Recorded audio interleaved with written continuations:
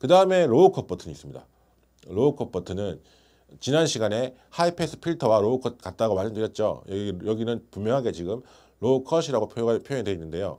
이 low cut을 누르면 자 EQ에서 보여드릴게요. 자 이 EQ 화면입니다. EQ 화면에서 이 화면 보이나요? 네, 이 화면에서 자 low cut을 누르게 되면 이렇게 자 low, low cut을 누르면 어 제 소리가 지금 상당히 바뀌었죠. 지금 제가 어떻게 설정했냐면 400Hz 밑으로 되는 어, 소리는 다 깎아버려라 라고 설정을 했습니다. low cut 그 양을 설정을 했고요. 이 버튼을 누르시면 내가 설정한 이 400이라는 그 주파수 기준으로 그 아래 것들은 다 이렇게 커팅을 하는 화면을 보실 수 있을 거예요. 다시 이걸 빼주면 low cut이 안 된 상태, 원래 그냥 flat한 상태가 되고 다시 low cut을 누르게 되면 400 under에 있는 소리들은 다 잘리는 거죠. 소리가 지금 이렇게 맹맹한 소리가 납니다. 저음이 하나도 없는. 근데 실제로 어 그때 저번에 디지털 콘솔은 아, 아날로그 아, 죄송합니다. 아날로그 콘솔은 어, low cut이 기준이 75 정도였어요. 그래서 어, 이, 이, 이 디지털 콘솔은 저 low cut의 주파수까지도 만질 수 있는 겁니다. 아날로그 차이죠. 근데 어, 75 정도에 놓고 쓰시는 게 제일 좋아요. 그 제일 원래 소리를 해치지 않는 어, 그 원소스를 해치지 않고 불필요한 저음만 깎는 제일 좋은 low cut 포지션은 75입니다. 아, 또는 아니면 80 정도. 예, 80 정도가 제일 좋은 포지션인데 그렇기 때문에 아날로그는 이, 이 주파수를 만질 수 없기 때문에 그냥 그 80 또는 75에 고정되어 있는 거예요. 그 디지털은 이, 이 포지션까지도 만지실 수 있습니다. 요 버튼으로 돌아가고요. 또 여기선 요 버튼으로 돌아갑니다. 이렇게 돌아가고 그 다음에 그 이 값을 이렇게 뺄 수도 있고 넣을 수도 있고 요 버튼으로도 뺄 수도 있고 넣을 수도 있고 이렇게 low cut 하실 수 있습니다. 이거는 뭐 어떤 주파수가 좋고 또 어떻게 쓰면 좋겠냐 그건 좀 디테일한 내용이기 때문에 다음 시간에 하고요. 일단 저 low cut 버튼 주파수 결정하는 버튼 자 이렇게 구성이 되어 있습니다. 자, 그 다음에 어 게이트 컴프레서 파트가 있는데요. 야, 이거 어렵습니다. 이거는 그 이번 시간에 다 설명드리기에는 너무 어려운 부분이라서 일단 이 디지털 콘솔을 아날로그만 쓰시다가 디지털 콘솔 처음 사신 분들이 이 게이트와 컴프레서까지 접근하시기는 쉽지 않을 거예요. 그래서 일단 이 게이트와 컴프레서는 무시하자. 어, 세팅하시는 분들 일단 이거 누르지도 마시고요. 뭐 보지도 마시고 볼 필요도 없고 누, 이거 뭐 버튼을 누르지도 마세요. 이게 다 눌러놓은 경우가 있더라고 이렇게 그냥 눌러놓으면 좋은 줄 알고 아닙니다. 다 빼놓으세요 그냥 어, 게이트와 컴프레서 걸려 있으면 다 빼시고요. 이거와 관련된 디테일한 설명은 다음 영상에 또 하도록 하겠습니다. 자, 그 다음에 EQ. 자, 이퀄라이저가 있는데, 이퀄라이저 파트가 있는데, 어, 우리가 익숙한 거는 그냥 high, middle, low잖아요. 그럼 얘가 high고 얘가 middle이고 얘가 low냐? 아닙니다. 이 버튼들은 다 뭔 역할을 하는지 적혀 있어요. 밑에 gain이라고 적혀 있고 frequency라고 적혀 있고 Q 값이라고 적혀 있습니다. 자, 그 다음에 또 EQ가 이거는 뭐냐면 EQ가 들어갈지 말지를 결정하는 버튼. 이거는 눌러야 됩니다. 이거 안 누르면 큰일 나요. EQ 안 먹습니다. 이거 안 누르면 자 여기 제가 EQ 화면을 좀 자세히 볼게요. view 버튼 눌러가지고 view 버튼 누르면 EQ 화면 나오잖아요. 자, 이 EQ 화면에서 자 제가 EQ를 한번 만져보겠, 만져보겠습니다. 이렇게 low를 깎아요. 자, 이게 회색으로 표시되어 있죠. 회색으로. EQ가 안 먹는 겁니다. 지금 내가 여기서 low를 아무리 줄여도 아무리 줄이고 뭐 여기 Q 값을 늘려서 막 low를 다 깎아 쳐내도 전혀 소리가 안 바뀝니다. 왜? 저 회색으로 표시되어 있잖아요. EQ가 안 먹고 있는 거예요. 왜 내 콘솔 EQ가 안 먹냐 생각하지 마시고 여기는 EQ 버튼을 누르셔야 됩니다. 누르시면은 자 low가 다 깎인 소리를 들으실 수 있습니다. 이렇게 자 다시 원상 복구 시킬게요. 원상 복구 시키는 방법은 여기 밑에 보시면 reset, reset all 뭐 이렇게 있잖아요. 그래서 reset all을 누르시면은 reset all을 누르고 confirm 여기 다 여기 confirm이라는 거를 cancel은 요거고요. cancel이고 reset all 누르고 confirm 요거 버튼을 yes라는 요 버튼을 눌러 주시면은 이렇게 내가 뭔 EQ로 뭔 짓을 했더라도 다 리셋이 됩니다. 자, 어쨌든 어, EQ 버튼 눌러 주셔야 된다. 그다음에 그러면 high middle low가 있었는데 그게 어디 있느냐 여기 있습니다 high middle high middle low middle low 이렇게 네 개로 있는데 어 저번에 제가 3밴드라는 말씀 설명드렸잖아요 3밴드 어 지금 이거는 쉽게 말해서 4밴드입니다 high high middle low middle low 이렇게 four band를 가지고 있는 거죠. 그 무슨 뜻이냐면 EQ를 만질 수 있는 포지션이 네 군데 있다는 뜻입니다. 네. high에서 한번 만질 수 있고 high middle에서 한번 만질 수 있고 low middle에서 만질 수 있고 low에서 만질 수 있고 네 가지 포지션이 있는데 그러면 이제 내가 low를 컨트롤하고 싶으면 low 버튼을 눌러야 됩니다. 이게 계속 나, 똑같은 얘기 반복인데 디지털 콘솔은 내가 하고 싶은 그걸 먼저 눌러야 돼요. 자 채널을 눌러야 되고 그 채널에서 또 EQ에서 low를 누른 다음에 거기서 이제 이걸 빼줘야지 비로소 low가 줄어들기 시작합니다. 근데 아날로그 콘솔은 저번에 설명드렸던 그 아날로그 콘솔은 뭐 low가 있는데 그게 몇 헤르츠인지도 잘 모르겠고 high가 있는데 그게 몇 헤르츠인지 잘 모르겠고 또 middle이 있는데 몇 헤르츠인지 잘 모르겠는데 사실 그 콘솔의 밑에 보면 숫자 적혀 있어요. 몇 헤르츠 뭐 low면 80헤르츠 뭐 middle이면 1kHz high면 뭐 10kHz 8kHz 이런 식으로 그 다이얼 밑에 조그만하게 글씨로 적혀 있는데요. 어, 디지털 콘솔은 그렇게 뭔가 정해진 포지션에서만 low 값과 middle 값과 high 값을 주는 게 아니라 내가 그 low라는 이 버튼을 누른 상태에서 그 주파수의 범위를 내가 마음대로 정할 수가 있어요. 그게 이 frequency라는 다이얼입니다. 자 여기서 보여드릴게요. 자 frequency를 돌려보겠습니다. 이렇게 돌리면 보이나요? 네. 네. 자 이렇게 돌리면 이, 이 low, low임에도 불구하고 이렇게 high까지 갑니다. 이 low라는 버튼에 눌려 있을 뿐이지 이게 지금 이렇게 왔다리 갔다리 저 제일 밑에서부터 자 low cut 잠시 뺄게요. 자 low cut 빼고 자 제일 밑에서부터 제일 위에 high까지 이 주파수를 결정할 수 있습니다. 말만 low지 사실 이건 그냥 하나의 특정 포인트를 결정할 수 있는 버튼인 거죠. 어, 그리고 또 low middle도 있잖아요. low middle 제가 깎아 볼게요. 아, 키워 볼게요. 자, low middle 키웠는데 얘도 마찬가지로 저 밑에서부터 low middle 저 밑에서부터 저 high까지 얘도 이렇게 왔다 갔다 할 수 있고요. 그 다음에 high middle도 마찬가지. 얘도 이렇게 포지션이 왔다 갔다 다 할 수 있고 그 다음에 high도 마찬가지. 이렇게 왔다 갔다 할 수 있습니다. 근데 어 지금 방금 high를 올렸더니 모양이 좀 다르죠. 기존에 있는 것들은 이렇게 산 같은 모양이 됐는데 요거는 좀 이렇게 위로 쭉 올라가는 모양이 됐는데 어, 저 산 같은 모양을 바꿀 수 있습니다. 하이도. 하이도 산 같은 모양으로 바꾸면 이렇게 됩니다. 어, 어떻게 바꾸셨어요, 방금? 아까는 하이가 이런 모양이었는데 지금은 이렇게 볼록한 산이 산모양이 됐잖아요. 자, 그게 바로 요 EQ 옆에 있는 모드라는 버튼입니다. 이 모드를 누르면 모드를 이렇게 눌러보면 하이가 네 가지 버튼이 네 가지 모드가 있는 게 보이실 거예요. 자, 먼저 PEQ라는 모드는 이런 산 모양이고요. 자, 또 한 번 더 누르면 VEQ로 바뀌는데 어, 거의 변함이 없죠. 근데 기울기가 살짝 다릅니다. 좀 그 산의 완만함이 그 보시면 PEQ가 제일 좁고요. 그 다음에 VEQ가 조금 넓어지고요. 그 다음에 high shelving이라고 합니다. HSHV 쉘빙이라고 하는데 high shelving을 하면 저렇게 바뀌고요. 그 다음에 high cut을 해버리면 이제 low cut 말고 high cut도 있거든요. 반대로 low cut의 반대 개념으로 high cut을 high cut 모드로 쓸 수 있는 겁니다. 이렇게 high cut 모드로 쓰면은 소리가 이렇게 답답해지겠죠. high low밖에 저음밖에 안 나겠죠. 이렇게 아아 아, 아, 저음밖에 안 나는데 이렇게 high cut 모드로도 쓸 수 있다. 이렇게 모드를 결정하실 수 있습니다. high는 low도 마찬가지로 low도 모드를 정할 수 있습니다. 지금 이 현재 이 low가 이 low가 현재는 지금 PEQ인데요. 한 번 더 누르면 VEQ 조금 완만한 산. 또 한 번 더 누르면 low cut.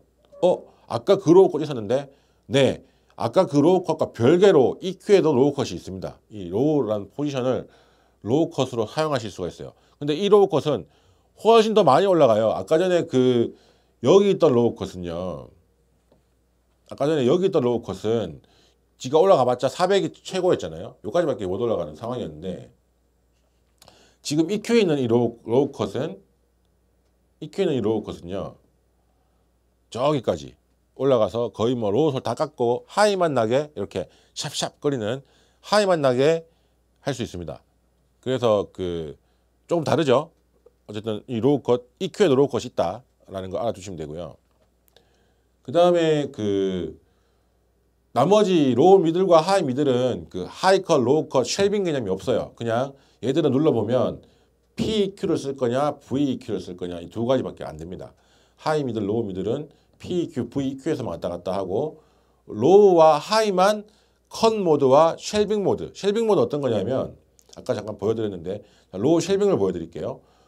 low shelving은 이렇게 어 모양이 완전 컷은 아닌데 low가 어떤 기준으로부터 이렇게 그 포지션만 감쇄되는 게 아니라 그 기준부터 시작해서 그 뒤, 뒤쪽까지 다 동일하게 동일하게 이렇게 감쇄되는 이런 그 모양이 shelving입니다. 이걸 shelving이라고 그, 그러고요. 로우는 로우하고 하이는 쉘빙을 많이 씁니다. 특정 포지션만 딱 건드리는 것보다는 로우랑 하이는 하이도 지금 쉘빙으로 바꿔볼게요. low랑 high는 이런 식으로 shelving을 많이 쓰거든요. 그래서 그 어, low하고 high는 shelving 모드로 많이 쓰고 중간에 있는 middle 두 개는 저렇게 특정 포지션에서 이렇게 산 모양이 되게끔 저렇게 해서 EQ를 만지는 경우가 있는데요. 어, 이 EQ 좋은 소리 만들어내는 법은 이것만 해도 시간이 많이 걸리니까 그거는 다음 시간에 미루고 어쨌든 EQ 작동을 이렇게 한다. 그리고 내가 어, 원하는 포지션을 찾아가지고 프리컷을 찾아서 이렇게 개인으로 줄이거나 또는 이렇게 키우거나 또 그리고 지금 산 모양이 좀 더 넓었으면 좋겠어. 이렇게 많이 좀 넓어졌으면 좋겠다 싶으면 이렇게 Q 값이라는 걸 통해서 이렇게 좁게 할 수도 있고 이렇게 넓게 할 수도 있고 이렇게 넓게 할 수도 있고 이렇게 좁힐 수도 있습니다. 이 Q 값은 이 저 산의 기울기를 결정하는 어, 값입니다. 그러면 단순하게 high, middle, low만 있는 그 아날로그 콘솔로도 제 목소리가 많이 바뀌었잖아요. 근데 지금 얘는 일단 밴드 자체가 4개 있죠. high, high middle, low middle, low 4개 밴드를 가지고 있고 각 밴드마다 포지션을 다 주파수 포지션을 다 바꿀 수 있고 또 그 각 포지션마다 뭐 shelving을 쓸 건지 아니면 저 산 모양을 쓸 건지 결정도 할 수 있고 low하고 high 쪽은 middle 같은 경우에는 뭐 그거는 결정할 수 없지만 그 산 모양 상태에서 산의 기울기가 어느 정도 기울일 수 있을지 일단 PEQ, VEQ도 있는 반면 또 Q 값이라는 걸 이용해서 그 산의 기울기를 결정할 수 있는 게 있기 때문에 사실 이것만 해도 요리할 수 있는 내 목소리를 요리할 수 있는 어 그런 가능성이 엄청나게 많아진 거예요. 아날로그 콘솔 대비. 그러니까 어떻게 보면 근데 우리가 단순한 게 좋을 때가 있잖아요. 그냥 high middle low만 있으면 그것만 만져서 적당하게 소리 내면 좋, 좋겠는데 이게 많으니까 더 머리 아프네 라고 생각하실 수 있어요. 그 만질 게 너무 많다 보니까 그 시간이 45분이야. 네네네네 메모리. 네네네 그래서 그 만질 수 있는 게 너무 많, 많아서 머리가 아프실 수가 있는데 어 어쨌든 저 EQ는 그 만질 수 있는 게 많다고 해서 무조건 많이 만지는 게 아니라 좋은 소리를 찾는 과정이라고 말씀드렸잖아요. 그래서 그 연습을 많이 하셔서 좋은 소리를 찾는데 사실 이 EQ는요 제일 적게 만지는 게 가장 좋습니다. 그러니까 뭐 막 이런 식으로 있잖아요. 막 low를 이렇게 막 팍팍 깎고 middle도 이렇게 팍 깎고 high도 이렇게 팍 깎고 이렇게 다 깎아 놓은 이런 EQ는 결코 좋은 EQ가 아니에요. 이렇게 해야만 좋은 소리 난다면 다른 데 문제가 있는 겁니다. 그 이렇게 해야지 나는 듣기 좋던데 그러면 뭐 스피커 시스템 쪽이나 앰프 쪽이나 다른 쪽에 문제가 있는 거예요. 절대로 이렇게 해서 좋은 소리 날 수가 없, 없습니다. EQ는 최대한 안 손대시는 게 제일 좋고 주로 손대는 이유는 약간 약간의 톤 변화를 위해서 손을 대고요. 그 다음에 그 하울링이라고 하는 거, 이 피드백이라고도 하는데 그 피드백 포인트를 찾아서 그 하울링이 안 나게끔 스피커에서 하울링이 안 나게끔 좀 깎아주는데 이 EQ를 활용하거든요. 그래서 그런 어떤 것들은 디테일한 공부니까 나중에 하기로 하고요. 자, EQ 넘어가겠습니다. 시간도 별로 없고. 자, 그 다음에 이 X31을 붙들고 제일 어려워하시는 것 하나만 마지막으로 설명을 하고 뭐 또 디테일한 건나 다음 시간에 하도록 할게요. 오늘은 요, 요 여기서 설명을 마칠게요. 그 이제 메인은 나게 했어. 메인은 소리가 나는데 모니터의 소리를 나게 할 줄 모르겠다는 연락이 너무너무 많이 옵니다. 네. 그리고 실제로 음, 처음 디지털 접하시는 분들은 어려우실 수 있어요. 그래서 모니터 소리 나게 하는 법을 알려드리도록 하겠습니다. 자, 일단 다시 처음으로 가서 라우팅에서 결정이 나야 됩니다. 먼저 라우팅에 가서 여기는 자 모니터를 내가 1번에 1번 아웃풋에 연결했다면 1번 아웃풋으로 갑니다. 간 다음에 이제 아까는 메인을 했지만 다른 걸 해야겠죠. 믹스버스 1이라는 걸로 설정을 합니다. 믹스버스 1. 어, 믹스버스 처음 들어보는 단어인데 어, 이 디지털 콘솔은요. 특히 X32는 그 모니터 옥스라는 개념이 아니라 그냥 믹스버스라는 버스라는 개념으로 어, 모든 단어를 그냥 통일했다고 보시면 됩니다. 저 버스가 무슨 의미인지 정확하게 나는 모르겠는데 저도 잘 모르겠어요. 근데 어 그 뭐 용어의 뜻은 있겠죠. 뜻은 있, 있겠으나 그게 중요한 게 아니라 그냥 어 우리가 그 아날로그 콘솔에서 쓰는 그 옥스 아웃들, 옥스 1, 옥스 2, 옥스 3, 옥스 4 이것들이 다 그냥 mix bus라는 개념으로 다 들어와 있다고 보시면 돼요. 그래서 그 mix bus를 16개를 쓸 수 있습니다. 여기 bus 1에서 8, bus 9에서 16까지 16개를 쓸 수 있는데 기본 디폴트 세팅이 기본 세팅이 13부터 16까지는 effector용으로 세팅이 되어 있거든요. 이거는 뭐 제가 세팅한 게 아니고 이 콘솔 자체 디폴트 값이 그렇습니다. FX 1번부터 4번까지 그 뭐 reverb나 또는 delay나 이런 것들 코러스 같은 것들을 넣을 수 있게끔 4개 세팅이 되어 있는데요.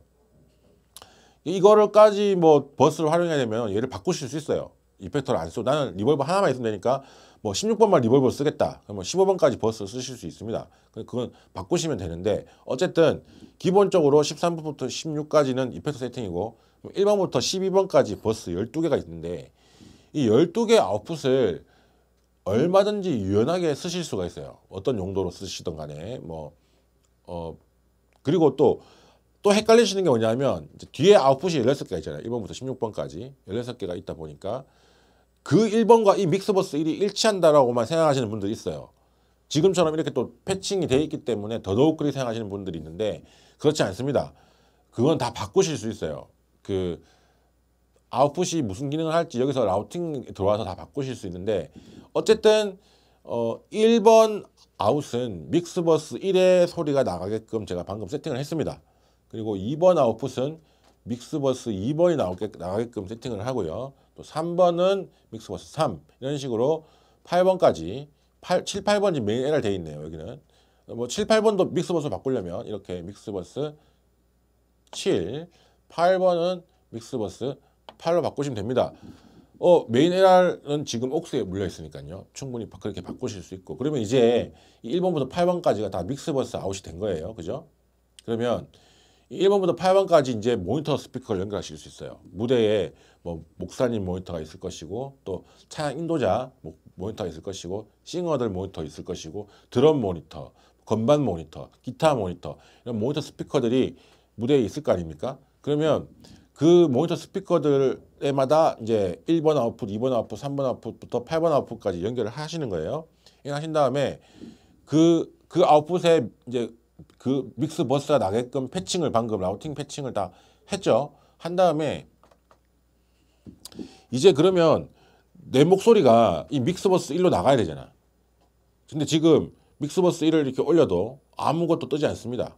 그러면 이, 이 목소리가 이 믹스버스 1의 소리가 나가게끔 그 하는 그 방법을 아시면 그걸 이해하시면 이제 모니터를 주실 수 있는데 어, X32는 그 방법이 좀 다양하게 접근할 수 있도록 세팅이 되어 있어요. 만약에 예를 들어서 뭐 RNS의 Q 시리즈라든가 SQ라든가 또는 제가 교회에서 쓰고 있는 아반티스 같은 모델들은 어, 그 방법이 그렇게 다양하지 않습니다. 그냥 되게 단순하고 직관적이고 한 가지 방법이에요. 한 가지 방법으로 그냥 모니터 주는 방법인데 이 X32는 아, 한 가지는 아니구나. 아반티스 두 가지 정도 루트가 있습니다. 근데 이 X32는 되게 다양한 방법으로 이 1번의 소리를 이 mix bus에 주는 방법이 있는데요. 일단 제일 쉬운 것부터 말씀드릴게요. 제일 쉬운 방법은 여기 bus mix라는 여기 버튼이 있는데 여기에 view 버튼이 있습니다. view 버튼을 눌러주시면 자 채널 1번이 select되어 있는 상태에서 이 bus mix view를 눌러주시면 1번부터 16번까지 버스 믹스의 이 페이더들이 쫙 보입니다. 자 이제 이 1번 내 마이크를 각 버스마다 얼마만큼 보낼 것인지 결정하는 건데요. 어, 좀 귀찮으시더라도 여기 있는 다이얼들을 쓰시면 좀 이해하시기가 편해요. 자 일단은 1번부터 4번까지 있고 5번부터 8번까지 이건 어디 넘어가냐 여기 네모난 박스가 쳐져 있잖아요. 네모난 박스가 이렇게 넘기시면 아 마이크 안 들고 해도 되죠? 이렇게 넘기시면 이 네모난 박스가 넘어갑니다. 이렇게 넘어갑니다. 넘어가고 이걸 이제 1번에서 4번까지로 네모 박스를 옮긴 다음에 여기 레, 레벨이 각각 있잖아요. 네 가지가 이 레벨을 이렇게 올리시면은 이렇게 0까지 올려볼게요. 0dB까지 이렇게 올리, 올리시게 되면 이제 이 1번 채널에 있는 이 마이크 소리가 이 bus mix 1번에 0dB만큼 나가는 겁니다. 자 이제 마, 마이크 소리 내볼게요. 아, 아 mute 했으니까 mute 풀고 아 하면 어 자 이제 그 bus out 1번에 이렇게 소리가 나가는 게 보이죠. 자 이제 여러분은 1번 모니터 그게 뭐 목사님 모니터일 수도 있잖아요. 그 목사님 모니터에 이 마이크 소리를 준 겁니다.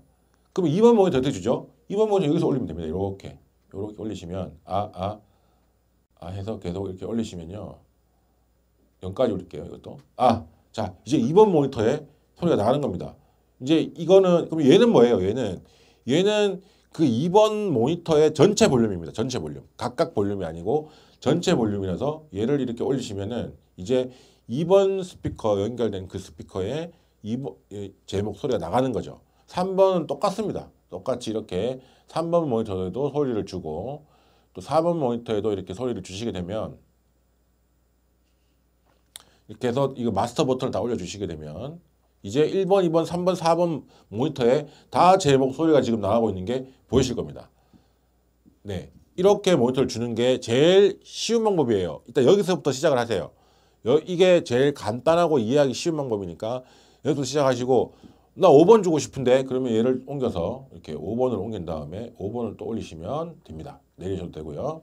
자 그렇게 해서 1번부터 12번까지 또 이펙터 13, 14, 15, 16까지 사운 어, 소리를 보낼 수가 있습니다. 그리고 그러면 다른 방법은 뭐냐? 이렇게 하지 않고 다르게 하는 방법도 있다던데 그걸 어떻게 하느냐? 자, 이 bus mix 버튼을 누르지 않은 상태에서 뭐 눌러 상관없습니다.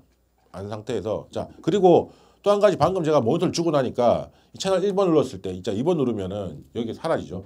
bus send라는 곳에 값들이 하나도 안 보이잖아요. 근데 1번을 누르게 되면 이렇게 bus send에 1번, 2번, 3번, 4번에 이렇게 모니터 양이 가고 있다라는 저 양이 보입니다. 근데 이제 아까 그 방법 말고 좀 더 좀 더 직관적으로 빠르게 줄 수 있는 방법 없냐? 자, 그거 두 가지가 있는데요. 이게 조금 헷갈리실 수 있는데 잘 들어보세요. 여기 보시면 버스 그룹 해가지고 Send on Fader라는 버튼이 있습니다. 자, 이 버튼은 완전 초보일 때는 누르지 마세요. 누르시면 오히려 다른 게 꼬일 수 있습니다. 그, 왜 꼬이는지 좀더 설명드릴게요. 일단 어느 정도 지금 말씀드린 걸 다 이해한 상태에서 이제 다른 모니터 주는 방법을 알고 싶다, 궁금하다 그러면 이 샌드온 페이더를 눌러봅니다. 눌러보면 샌드온 페이더 버튼이 깜빡깜빡거리죠. 자, 깜빡깜빡거리는데 이게 이제 안 눌려 있으면 깜빡깜빡 안 거립니다. 왜 깜빡거리냐면 너 지금 만지는 게 메인이 아니라 모니터야 라는 경고등입니다. 경고등. 나한테 경고를 주는 거예요. 너 지금 이거 눌렀어. 너 이거 눌렀기 때문에 너가 지금부터 만지는 거는 메인이 아니고 모니터야 라는 경고를 주는 거예요. 자, 샌드온펜을 누른 상태에서 내가 1번 셀렉을 하잖아요. 2번, 자, 2번 눌러볼게요. 어, 2번 누르니까 싹 내려갔어. 2번 채널은 지금 어디에도 모니터를 안 줬거든요. 근데 다시 1번 눌러볼게요. 1번 누르니까 쫙 올라갔어. 그죠? 자, 이제 여기서 값을 내려보겠습니다. 자, 3번 내려보겠습니다. 3번 내리니까, 어, 아까 채널 1번에 요 화면에 3번이 내려가는 게 보이실 겁니다. 자, 이걸 올리니까 이렇게 올라가죠. 다시 이렇게 올라가죠. 그 1번, 2번, 3번, 4번이 무대 위에 있는 모니터 뭐 1번 네 개인데 네, 네. 네 개인데 1번은 드럼, 2번은 베이스, 3번은 기타, 4번은 건반. 뭐 그렇다면 이제 그 이 소리가 내, 내 목소리가 세 번째 모니터가 만약에 드럼이라면 드럼에서 좀 빼주세요 그러면 이렇게 빼주면 되는 거고 그렇죠. 좀 넣어달라 그러면 더 넣어주면 되는 거고 예, 그렇게 조절하는 건데 이 조건은 샌드온 패드를 누른 상태에서 내가 지금 모니터를 주고 싶은 채널을 눌러야 됩니다. 만약에 이 채널이 아니라 옆 채널을 누르시게 되면 다시 그 채널을 누른 다음에 양을 정하는 거죠. 이렇게 2번 채널이라면 이제 보컬 두 번째 두 번째 보컬 또는 뭐 다른 뭐 악기가 될 수도 있고 두 번째 보컬 될 수도 있는데 그렇게 하시는 거고요. 자 이게 왜 헷갈리냐 하면 자 지금은 이 보내주는 인풋 인풋 입장에서 셀렉을 눌렀을 때 아웃풋이 펼쳐진 거잖아요. 반대도 있습니다. 무슨 말이냐면 사실 이 반대가 만지기 더 쉽고 많은 콘솔들이 요 방법만 취하는 경우가 많습니다. 뭐냐면 자, 샌드온 패드 상태에서 그 믹스 버스 자체를 눌러주시는 거예요. 셀렉을 하시면 어떻게 되느냐? 이 셀렉된 이 믹스 버스에 들어올 소스들, 즉 1번 모니터가 아까 전에 뭐 드럼이었다면 드럼 모니터에 주고 싶은 소스들을 여기서 믹스하실 수 있는 거예요. 대부분의 콘솔들은 이 방법으로만 모니터를 주는 경우가 대부분입니다. 음, 쉽겠네. 예. 모니터 모니터를 내가 먼저 설정 모니터를 먼저 고르고 어떤 모니터를 줄지 고르고 그 다음에 그 모니터에 줄 밸런스를 정하는 거예요. 이렇게 다 채널마다 전부 다 채널마다 다 그 밸런스를 정하는 겁니다. 자, 예를 들어서 9번부터 16번까지 드럼이면 드럼 모니터에 드럼 소리는 요만큼씩만 주자. 모든 소리를 요만큼씩만 주고 그 다음에 보컬들은 어 보컬들이 뭐네명 있다. 근데 메인이 인도자고 세 명이 보컬이면 back 보컬 다 빼주세요. 네, 빼드릴 거예요. 리더 보컬 좀 더 넣어 더 넣어주세요. 더 넣어드렸고요. 그 다음에 뭐 건반 소리하고 나머지 기타 소리 좀 적당히 넣어주세요. 적당히 넣어드렸습니다. 자, 뭘 했다고요? 드럼 모니터 Send on Fader 상에서 드럼 모니터를 select을 한 다음에 1번 모니터 select을 한 다음에 그 모니터의 밸런스를 여기서 인풋 채널 쪽에서 잡아주시면 이제 이 드러머가 만족할 때까지 이걸 조정해 주시면 되는 겁니다. 그리고 또 드럼 모니터 끝났다. 그 다음 모니터, 막 기타 모니터다. 그럼 기타 또 누르고 그 사람한테 또 믹스를 해주는 거예요. 기타 모니터한테 또 믹스를 해주는 겁니다.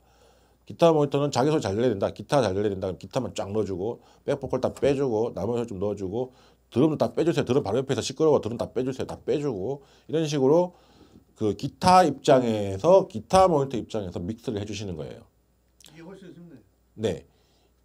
이게 대부분의 디지털 콘솔들이 이 방법으로 모니터를 줍니다. 근데 이제 X32는 이 방법도 되고 또 반대로 인풋 입장에서 이 사람 목소리가 이 사람이 만약에 대통령이야. 이 대통령 목소리가 나머지 모니터에서 다 잘 나와야 돼. 그런 경우에 이 Send on Fader를 1번 뭐 1번 채널을 select을 하면 나머지 모니터에 빨리 이렇게 다 1번만 다 주는 겁니다. 이렇게 빨리 급하게. 이 1번 마이크만 이 나머지 모니터들에게 다 소리 잘 나야 된다면 이런 식으로 이 1번에 대해서 아웃풋들에게 얼마만큼 소리를 줄지를 결정하는 게 방금 보여드린 이 방식이에요. 근데 아까 보여드렸던 아웃풋 입장에서 믹스를 하는 거든 이 인풋 방식에서 뿌려주는 거든 전부 다 이 Send on Fader가 눌려져 있는 상태에서만 가능합니다. 근데 자 이제 모니터 다 줬어요. 또 모니터 다 주고 나서 메인에서 나는 이 목소리가 너무 작아. 그래서 내가 키웠단 말이야. 어? 안 올라가네. 계속 키웠는데도 어? 안 올라가네. 왜 안 올라가지? 깜빡. 자, Send on Fader가 눌려있기 때문에 그렇습니다. 그래서 아까 제가 이거 경고등이라고 말씀드렸죠.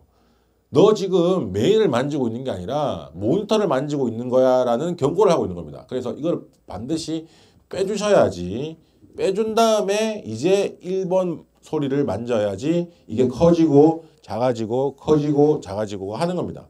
그래서 그 샌드온 페이더 반드시 어, 눌렀을 때는 내가 모니터를 만지고 있다라는 것을 꼭 기억을 하셔야 되고요. 자, 그 다음에 그럼 자 세 가지 모니터 주는 방법 세 가지 있었죠. 일단 버스 믹스 버튼 눌러서 주는 법이 있었고, 그 다음에 Send on Fader를 누르고 채널을 누른 다음에 주는 법이 있고, 아웃풋을 누른 다음에 주는 법이 있습니다. 자, 그렇게 이해하시면 되고요. 그 다음에 또 뭐 매트릭스가 있고 또 여기 이펙터 send return 개념도 설명을 드려야 되는데 여기까지 하면 너무 내용이 길기 때문에 오늘 일단 요까지만 하면 일단 오늘 된 게 뭐예요? 어, unboxing을 해서 처음 딱 콘솔을 까가지고 뒤에 있는 것들에 자기가 가지고 있는 장비들 연결하고 그 다음에 그 장, 연결한 장비의 아웃풋에 해당되는 routing을 설정해주고 그 다음에 인풋을 꽂은 다음에 gain 값을 정하고 EQ를 정한 다음에 볼륨을 올려주면 되고 만약에 그 장비가 콘덴서 마이크면 48V 넣어주면 되고 이렇게 아주 기본적인 연결과 소리 내는 법을 설명을 드렸는데요. 이제 다음 시간에는 그 오늘 설명드리지 않았던 뭐 예를 들어서 게이트, 컴프레서, 또 EQ 디테일하게 잡는 법, low cut 얼마만큼 넣어야 적당한지 그리고 또 그 또 궁금해하시 많이 궁금해하시는 게 effect send return 개념, 그 다음에 또 매트릭스가 뭔가 모르시는 분들이 많아요. 매트릭스. 또 그 다음에 이 그룹. 아, 이 그룹 설명 중요합니다. 어, 이거는 저번 시간에 그 제가 뭔가를 소스들을 그룹화 시켜서 한꺼번에 만질 수 있다고 말씀드렸잖아요. 그거랑 똑같은 기능이거든요. 근데 훨씬 더 디테일하고 어, 만질 수 있게끔 잘 돼 있습니다. 디지털 콘솔들은 특히 또 그런 그룹이 보시다 보시다시피 8개나 1번부터 8번까지 8개 그룹이 있기 때문에 어, 만질 수 있는 운용의 폭이 훨씬 넓어지는 거예요. 그 한번 세팅을 누가 와서 이제 저뿐만 아니라 세팅하시는 분들 많이 능, 능력자들 분들 많이 있으시니까 그 세팅하실 수 있는 분들이 와서 뭔가 적당한 값을 설정하고 저장까지 딱 해놓고 그걸 파일로 딱 만들어서 여러분들에게 드리고 나면 여러분들은 그 파일만 불러오면 언제든지 그 사람이 세팅해 놓은 세- 상태 돌아갈 수가 있어요. 아무리 뭔가 이렇게 만졌더라도 그 파일만 불러오는 순간 다시 그 상태 돌아갑니다. 그래서 아날로그를 디지털로 전환하는 데 있어서 가지고 계신 부담이 있으신 분들이라면 부담 없이 언제든지 바꾸시라고 권해드리고 싶고요. 네, 자 오늘 이렇게 그 디지털 콘솔에 대해서 이렇게 많이 알아봤는데요.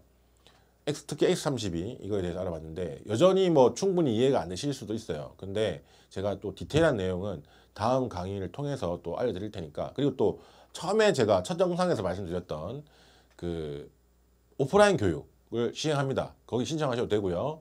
그 신청 방법은 그냥 저한테 문자 주시면 됩니다. 문자 주시면 되고 그리고 또 그 뭐 이 온라인 강의 또 오프라인 강의를 와도 나는 내가 있는 곳에서 잘 적용하기 힘들다. 제가 가서 무상으로 교육을 해드리니까 언제든지 연락 주시면 되고요. 그리고 뭐 또 무상 교육을 한다고 해서 다른 데서 뭔가 또 뭐 하려고 하는 게 아니냐 그렇게 생각하실 수 있는데 제가 말씀드렸 처음에 말씀드렸다시피 저는 가서 운용을 해드리거나 뭐 예배 세팅을 해드리거나 그런 건 안할 겁니다. 왜냐하면 그런 거는 이미 그런 거를 업으로 하시는 분들이 있어요. 그런 분들까지 제가 침해할 수는 없으니까 저는 순수하게 이 쓰는 방법 그리고 라우팅 그 구조 짜는 거 연결된 상태에서 구조 짜는 라우팅과 사용법 설명은 제가 무상으로 해드린다는 얘기니까요. 많이 연락 주시고 또 이 영상 많이 봐주시고 좋아요, 구독 부탁드리겠습니다. 감사합니다.